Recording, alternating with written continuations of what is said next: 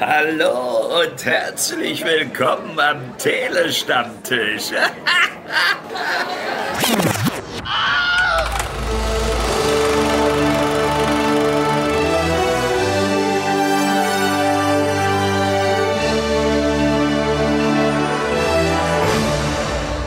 Ja, hallo, herzlich willkommen zu einer neuen Filmkritik hier bei uns beim Telestammtisch.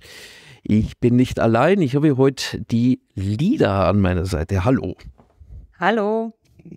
Und wir sprechen heute über ja, den äh, neuen Steven Spielberg-Film, der jetzt, man muss dazu sagen, wir nehmen jetzt hier noch Ende 2022 auf. Da gibt es ein Embargo, aber für den Film, der bis zur Berlinale Eröffnung, glaube ich, geht. Und deswegen kann ich nur sagen, er ist für die Golden Globes jetzt fünfmal nominiert worden. Ich schätze mal, bei den Oscars kriegt er noch den ein oder anderen mehr.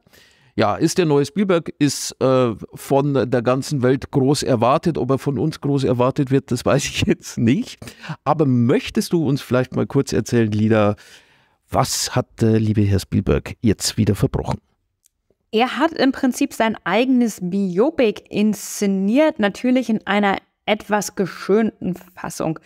Der Plot beginnt in den frühen 50ern, wo der Hauptcharakter, der junge Sammy, Sohn von Mitzi und Bert Fableman, die titelgebende Familie Fableman, aufwächst. Er ist ein junger, ja, ein junger Mann, ein Jugendlicher, der sich besonders für Kino begeistert, technische Affinität von seinem Vater, der als eine Art Computerpionier arbeitet, geerbt hat und einen künstlerischen Draht von seiner Mutter, die früher Konzertpianistin war, dies aber offenbar, um dann entsprechend des 50er Jahre Rollenbildes Hausfrau zu sein, aufgegeben hat und sich nun seine eigenen Amateurfilme immer weiter zusammenbastelt, immer mehr Geld darin investiert, aber auch darunter leiden muss, dass seine Familie mehrfach umzieht und es dann noch einige Beziehungsprobleme in der Ehe der Eltern gibt. Wir haben hier also eine klassische Coming-of-Age-Story, die sehr stark biografisch gefärbt ist, auch wenn es keine offizielle Biografie ist. Hm, ja. Und du hast es schon gesagt, äh, schön geschönt, also mit äh, ordentlich Hollywood-Schmalz drauf und jedes Bild schön perfekt, wie man es kennt, schöne Kamerafahrten, alles ideal. Ähm, bist du eigentlich ein Spielberg naja, sagen wir mal, Fan wahrscheinlich nicht. Absolut nicht, nein. Obwohl ich nicht abstreiten kann, dass er natürlich eine gewisse handwerkliche Qualität liefert. Er weiß, wie man das macht. Er ist ja schon seit Jahren dabei und besonders Eben. seine frühen Filme sind durchaus gut. Ich mag Der Weiße Hai, ich mag auch Duell, einen eher unbekannten frühen Steven Spielberg Thriller.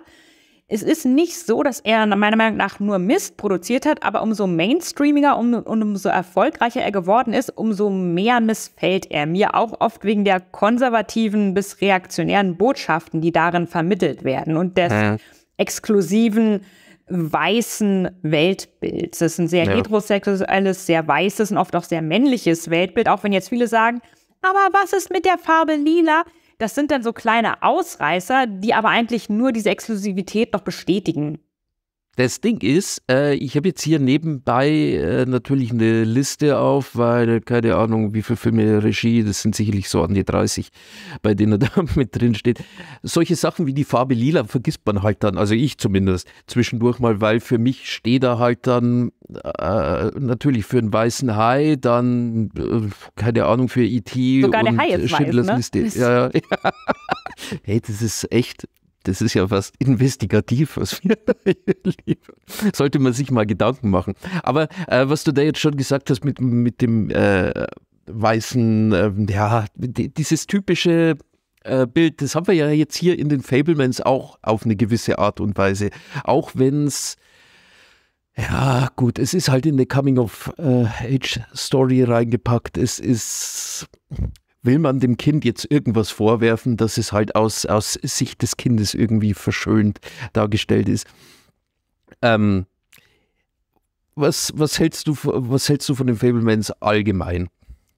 Zuerst mal muss man hier sagen, dass es auffällt, dass er sich immer selber als Mittelpunkt des Geschehens sieht, obwohl andere Figuren offenbar wesentlich mehr Probleme haben und eine wesentlich interessantere Geschichte. Er aber den Blick einfach nicht von seinen eigenen völlig banalen Problemen. Im Prinzip ist das sogar das Hauptproblem des Films, dass es kaum Probleme gibt, dass die Handlung einfach nur so dahin plätschert. Der einzige Grund, dass diese Figur jetzt interessant sein soll, die ist, dass da aus jemandem, der bereits in eine sehr privilegierte mittlere bis äh, untere Oberschichtsfamilie, die immer weiter gesellschaftlich aufsteigt, hineingeboren wurde, irgendwann dann super erfolgreich wird. Er analysiert auch niemals, wie hat mir vielleicht meine Position, mein Geld, mein Status, mein Weißsein, mein Männlichsein, meine Eltern und so weiter, wie hat mir all das geholfen, das zu erreichen, was ich erreicht habe? Das hätte ja, sagen wir mal, eine Frau, farbig aus der Unterschicht, nicht annähernd so erreichen können mit dem doppelten Talent, einfach aufgrund der gesellschaftlichen Gegebenheiten. Aber da wird kein bisschen drauf geguckt. Es, es gibt immer diese Idealisierung, ich war so talentiert, dass ich einfach nur an die Spitze durchschießen konnte. Und zum Beispiel die Geschichte seiner Mutter, einer offenbar hochintelligenten, hochtalentierten Künstlerin, die sich danach sehnt, ihr Talent zumindest in einem kleinen Rahmen auszuleben und das nicht kann und daran wirklich verkümmert mental. Das hat man im Hintergrund, aber es ist einfach nur ein bisschen Kolorit zu seiner eigenen Geschichte. Und das frustriert auch die Schwestern, die ja in der gleichen Problem, also wenn man die ja. Familiensituation als problematisch betrachtet oder das Umziehen, das betrifft ja auch alles seine Schwestern. Aber deren Meinung oder Befinden nicht einmal auch nur annähernd eine Rolle spielt. Es sind einfach nur Hintergrund-Koloritfiguren. Hm. Ja, also ich meine, das ist jetzt äh, recht viel auf einmal. Ich gehe jetzt mal nochmal auf Michelle Williams äh, Rolle zurück, die ich eigentlich als eigentliche Hauptrolle sehe. Also würde ich jetzt, wenn man ein bisschen mehr drüber nachdenkt, dann ist sie eigentlich die einzige Figur, die mehr oder weniger ein bisschen Licht und Schatten hat. Aber was mir da überhaupt nicht gefiel, das ist auch so, dass dieses ähm, ja, wie sagt man, die, diese äh, Nichtmöglichkeit eben in dieser Zeit, dass sie ihr, ihr, ihr Konzertpianistentum praktisch beruflich weiterführen könnte und wahrscheinlich äh, irgendwie mal berühmt geworden wäre, ähm, dass sie das nicht weiterführte. Mir ist die dann auch ein bisschen zu hysterisch irgendwie dargestellt worden. Also so nach dem Motto, es gibt dann noch eine Dreiecksgeschichte mit einem ehemaligen Geschäftspartner beziehungsweise äh, ja, Kollegen von ähm, Sammys Vater, mit dem sie ja angeblich dann eine Affäre hat, wie, wie, genau die dann vorher aussah, das wird in dem Film, glaube ich, gar nicht so großartig be bezeichnet, ob, ob, die sich einfach bloß vermisst haben oder schon vorher was miteinander hatten. Aber es wird dann mehr oder weniger dann auch drauf, äh, ja, da, wie sagt man, es wird, es wird zu sehr darauf hingewiesen, dass sie ja dann mehr oder weniger die Familie verlassen hat und äh, das jetzt alles zerstört, um praktisch, ja, einem Traum hinterher zu jagen. Ich weiß nicht, sie wurde dann auch immer so wie, wie so eine verrückte Fee irgendwie streckenweise dargestellt, die, die mehr oder weniger Sachen hinterherläuft, die ja nicht mehr unbedingt dem entsprechen, was äh, ihre Lebensrealität von ihr verlangt. Und ich weiß nicht, das ist alles so unkritisch irgendwie dargestellt worden, fand ich jetzt persönlich. Und jetzt bin ich äh, selber halt als Mann, jemand, der seine Privilegien ja selber immer nie irgendwie merkte und erst recht jetzt keine Frau aus den 50er Jahren war. Weiß nicht, siehst du das ähnlich oder? Ja, sie war nach meinem Empfinden auch vor allem nicht so sehr hysterisch, aber theatralisch würde ich ja, es nennen, auch mit ja. diesem ständigen Aufmerksamkeitsbedürfnis, sich durch irgendwelche Vorführungen in den Mittelgrund, also in, in die Mitte zu stellen. Und wo man ja auch, ähm, was du angesprochen hast, ein bisschen äh, das betonen muss, dass ihre Sehnsucht nach künstlerischer Selbstverwirklichung oder auch vielleicht auch romantischer Erfüllung als destruktiv dargestellt wird. Die Familie geht letztendlich daran kaputt, auch wenn es nicht über die normalen Scheidungen, die einfach für die meisten für uns zur Realität gehören, hinausgeht. Also da sind keine besonderen Kämpfe oder Dramen, die sich da abspielen. Die Eltern trennen sich einfach nur, weil es nicht klappt. Äh, dass das von ihrer Seite als destruktiv dargestellt wird, wie, während zum Beispiel Sammys eigenes Bedürfnis nach künstlerischer Selbstverwirklichung immer als Ideal dargestellt wird. Ja, natürlich, folge deinem Traum, sei du selbst, greif nach den Sternen. Schon das Poster, wenn ihr euch das Poster mal anschaut im Internet, sieht man ja, wie er geradezu auf eine große Leinwand zwischen lauter stilisierten Filmreihen da entlang läuft, sozusagen seinem Ruhm entgegen. Diese unterschiedliche Bewertung wer deinen Anspruch und das Recht darauf hat, seinen Träumen zu folgen. Und natürlich ist es viel leichter zu sagen, oh, ich habe ja niemandem damit was getan, wenn man 18 äh, ist und keine Familie nicht ja, hat, eben, als ja. wenn man oder auch natürlich keine Verantwortung übernehmen muss. Es gibt ja genug Leute, die mit 17, 18 schon längst die Verantwortung übernehmen müssen für Geschwister, Eltern und so weiter und sich da kümmern müssen und dann auch gar nicht diese Möglichkeiten haben, das zu verfolgen, was er da verfolgt. Schon allein, dass er sich das zu der damaligen Zeit enorm teure Kameraequipment leisten kann und zum Teil auch von seinen Eltern oder Bekannten der Familie, wie besagtem Freund, mit dem die Mutter dann eine Affäre hat, gesponsert bekommt, das spricht ja für den enormen Status der Familie. Damals konnte schon nicht einfach jeder wie heutzutage ein Filmchen für sich drehen, weil das wahnsinnig teuer war, das Equipment. Ja, ja gut, das äh, das kann man dem Film jetzt nicht vorwerfen, dass er das zumindest gezeigt hat, dass dieses Equipment was kostet. Nee, nee, aber es, es ja, wird klar. eben nicht hinterfragt nee. oder kritisiert eben. oder dieses, dieses Privileg, das wird als selbstverständlich dargestellt. Dieser Film ist abgekapselt in einer Mittelschichtswelt und spricht die ganzen Probleme, die in der Zeit äh, existieren, zum Beispiel Rassismus, das es mhm. ist so, als ob das nie existiert hätte, als ob es das nicht gibt. Das Nullbewusstsein da, dann haben wir die McCarthy-Ära, diese ganze fanatische Kommunistenjagd, davon mhm. sehen wir mhm. auch nichts. Wir haben den Lavender-Scare in den 50er, als es darum ging und die USA versucht hat, sämtliche Homosexuelle zu registrieren und da Clips liefen wie Boys Beware und hinter jeder Ecke kann ein Homosexueller lauern und euch Mädchen können von heute auf morgen umgedreht werden und ihr wisst ja nicht, das waren die ganze Zeit damals. Für viele Leute war das ein Leben in ständiger Angst. Ja, und man muss dazu sagen, dass, äh, dass der Film, der hat ja auch eine, eine Phase, in der er ja mehr oder weniger exakt in einem Alter wäre, der Sammy, in dem solche Themen eigentlich äh, gut erzählt werden hätten können. Weißt du? Und deswegen finde ich es immer wieder verwunderlich, dass, dass der Film eben nur in seiner kleinen Blase, irgendwie in seiner kleinen romantischen Blase unterwegs wird äh, unterwegs ist, ein bisschen Zucker drauf streut und dann meint, gut, so war das. Also Exakt. wollte ich jetzt da nicht unterbrechen. Ja. Du, hast der, ähm, du hast da sehr recht, auch das bisschen Diskriminierung, was wir sehen, nämlich, dass er dann im letzten Drittel des Films an einer neuen Schule aufgrund ähm, des jüdischen Glaubens der Familie diskriminiert wird. Wir sehen niemals, wie viel Affinität er selber zu diesem jüdischen Glauben hat, ob er sich selber als äh, Jude sieht als, als Gläubiger oder ob das einfach etwas ist, das seiner Familientradition entspricht, aber mit dem er selber kein, keine Verbindung hat. Äh, er wird dann dort auch gehänselt von Mitschülern, aber auch dieses Hänseln nimmt niemals drastische Züge an, sodass man den Eindruck hat, dass es ihn wirklich jeden Tag fertig macht. Und wie es sich dann letztlich auflöst, ist dann auch zu gefällig, dass es niemals wirklich angesprochen wird wie massiv sowas sein kann, was ja auch sehr aktuell wäre, da der mhm. Antisemitismus ja, ja heutzutage in den USA wieder ganz massiv hochkocht. Ja, ja, eben die verschiedenen Gruppierungen und sowas, die, die sich ja im Untergrund formieren und äh, Stellung nehmen, kann man ja jetzt nicht übersehen.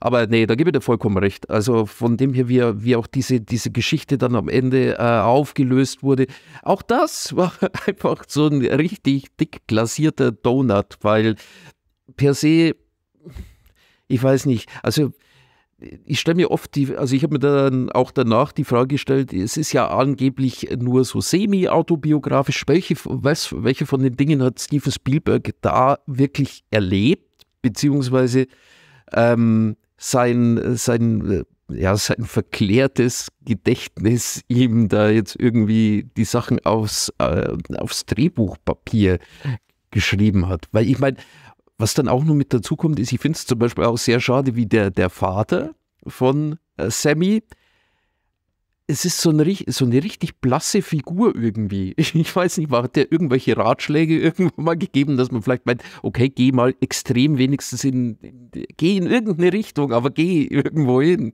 Sei nicht so langweilig. Den fand ich zum Beispiel auch überflüssig. weiß nicht. Absolut das ist eben dieses Problem, dass im Prinzip der ganze Film überflüssig ist, weil er es nicht schafft, uns irgendwas von Relevanz zu erzählen. Es ist einfach nur eine Selbstverklärung, eine Selbstmythologisierung die sich sehr unangenehm anfühlt aufgrund dieser gesellschaftlichen Scheuklappen. Und da wir ja nun wirklich mehr als genug Geschichten von weißen heterosexuellen Kids aus der oberen Mittelschicht haben, es ist ja nicht so, dass uns hier irgendwas gezeigt wird, was wir nicht schon bis zum Abbrechen vorgekaut bekommen hätten. Ja, also ich hätte, ganz ehrlich, wenn der Film sich was getraut hätte, dann hätte er wahrscheinlich die Mutter komplett in den Vordergrund gestellt. Vielleicht meinetwegen auch die Eltern, weiß ich nicht. Äh, aber so diese Geschichte aus, aus Sicht des Kindes und so weiter und so fort. Weiß nicht. Es ist. Ich glaube, ich komme jetzt zur letzten Frage, die ich habe. und zwar ähm, ist es die, jeder, jeder Regisseur, jede Regisseurin hat ja mit, äh, beim Machen des Films so eine gewisse Vorstellung, was sie wahrscheinlich äh, weiter äh, geben wollen ans Publikum. Ich schätze mal, dass Spielberg da auch schon vorhatte, uns Zuschauern, Zuschauerinnen ähm, eine gewisse, ja, äh, Einsicht zu geben, wie magisch er das Kino findet. Ich meine, ist ja jetzt auch nicht umsonst so, wenn man den Soundtrack da, dazu hört, John Williams mit seinem, äh, keine Ahnung, 200. Gedudel, immer wieder ins gleiche Horn äh, stoßend.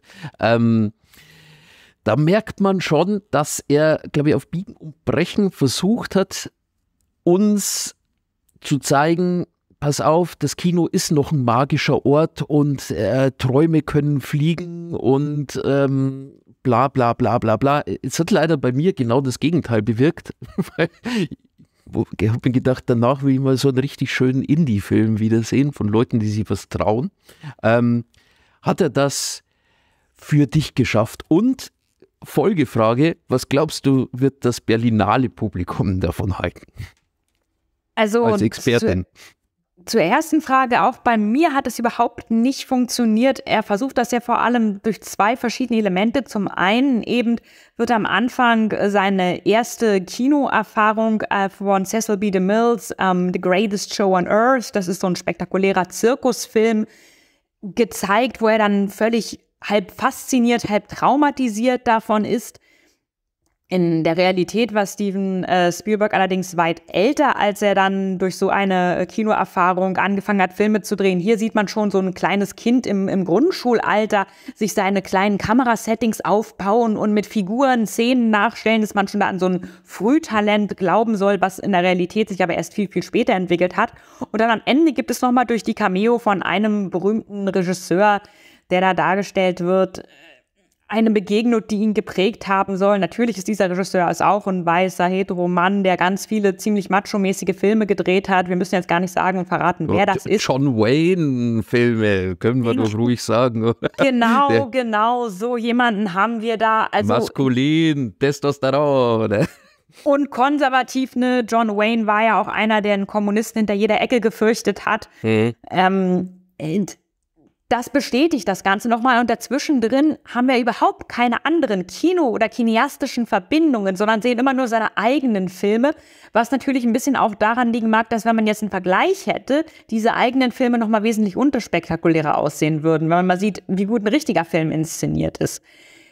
Und wir wissen also trotzdem praktisch nicht, wer sind zum Beispiel Regisseure, die er bewundert.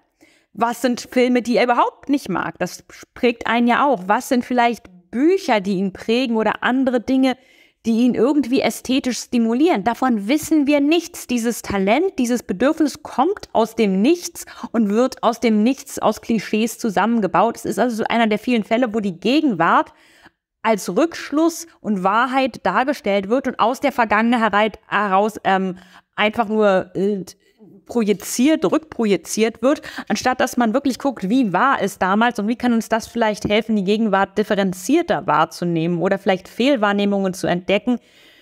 Und deine Frage, wie wird es auf der Berlinale aufgenommen werden? Nun, Steven Spielberg bekommt den Ehrenbären der Berlinale, so viel ist bekannt. Und er ist wahrscheinlich der letzte Regisseur auf der Welt, der diese Plattform, die ein großes Publikumsfilmfestival, wie es die Berlinale ja ist, bietet. Er ist sozusagen wirklich die Personifikation des äh, Filmschaffenden, der nicht noch mehr Lobbyismus und noch mehr Marketing braucht. Jeder kennt Steven Spielberg, er hat unglaublich viel Geld, er kann alles drehen, machen, produzieren, was er will. Und das Publikum wird dann natürlich, jeder hat wahrscheinlich seinen Lieblings-Steven Spielberg-Film, außer mir und Maximilian. und du hast den weißen, und, du hast den weißen Hai. Komm, ja, wir einigen genau, uns auf den, den weißen, Hai. Hai. Sehr gut, genau, den, den weißen Hai. Der äh, kann dann da ein bisschen in Nostalgie schwelgen und das Ganze nochmal auf der großen Leinwand sehen und dann wird dem Publikum das gefallen. Ich glaube leider, dass die wenigsten diese Entscheidung kritisch bewerten. Mhm. Ich, ich, ich gebe mal einen Tipp ab und sage fünf Minuten Standing Ovations Minimum, oder? Ja, natürlich hofft man auch, dass Steven Spielberg dann da auftaucht, ein bisschen für Starglanz sorgt, vielleicht noch den einen oder anderen Schauspieler oder Schauspielerin mitbringt. Das ist ja immer die Hoffnung der Berlinale, auch gerade wenn sie alle möglichen Filme, die eher wenig cineastische Qualität haben, einlädt, dass man die Leute auf einen roten Teppich bringt. Ja, können wir vielleicht auch noch Geschäfte nebenher machen, dass er vielleicht den, das nächste, was weiß ich, Weltkriegsdrama dann wieder in Babelsberg dreht oder so. Mal gucken. Wir wissen es genau, nicht. Genau, dass denn der eine oder andere von uns wieder in einer Nazi-Uniform durch Babelsberg hier am Rand von Berlin rennen darf und dafür ein Gratis-Buffet bekommt, weil da wieder mal so ein Weltkriegsfilm gedreht wird. Ja, wunderbar. Ich, es wäre wär ein bisschen interessanter gewesen, wenn man, glaube ich, zu uns beiden noch so ein Steve, äh, Steven äh, Spielberg, äh, so ein, äh, ja, ein Freund seiner Werke irgendwie mit dabei hätte. So ist es, naja, gut. Zumindest haben wir den Film gesehen und wir, wir sprechen jetzt über die Fablemans. Die, die, meine, ja, meine Wertung so ist nichts Besonderes. Äh, könnte man sich sparen. Auch viel zu lang, viel zu schmierig. Ja, ich glaube bei dir ähnlich.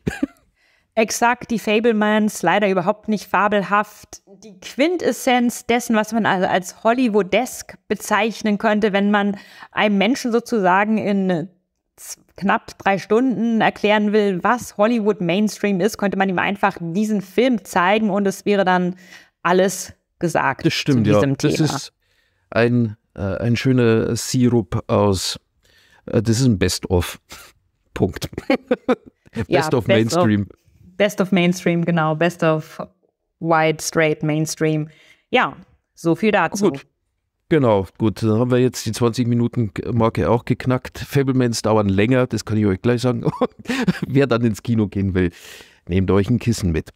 Also, dann danke ich dir für deine klaren Worte, schön wie immer. Und ähm, ich verabschiede mich hier von meinem Platz, von meinem etwas unbequemen Stuhl hier und gehe zum Abendessen. Und ja, Lida, für dich die letzten Worte. Ciao. Ich verabschiede mich auch und sehe euch hoffentlich nächstes Jahr in alter Frische im Kino. Kommt gut rein und macht's gut. Sehr geehrte Damen und Herren, wertes Publikum, liebe Hörende, vielen Dank für eure Aufmerksamkeit und Zeit. Ich hoffe sehr, euch hat gefallen, was ihr gerade gehört habt. Wir, die Redaktion des Telestammtisch, betreiben ein semi-professionelles Podcast-Projekt zum Selbstmitmachen. Also meldet euch bei uns, wir beißen auf. Außerdem freuen wir uns immer über Feedback via Social Media und E-Mail sowie euren finanziellen Support. Ebenso frohlocken wir förmlich über Bewertungen auf den gängigen Podcast-Plattformen. Wer möchte, darf uns gern immer und überall empfehlen. Alle relevanten Links findet ihr in den Show Notes. Vielen Dank und bis zum nächsten Mal. Euer Andi.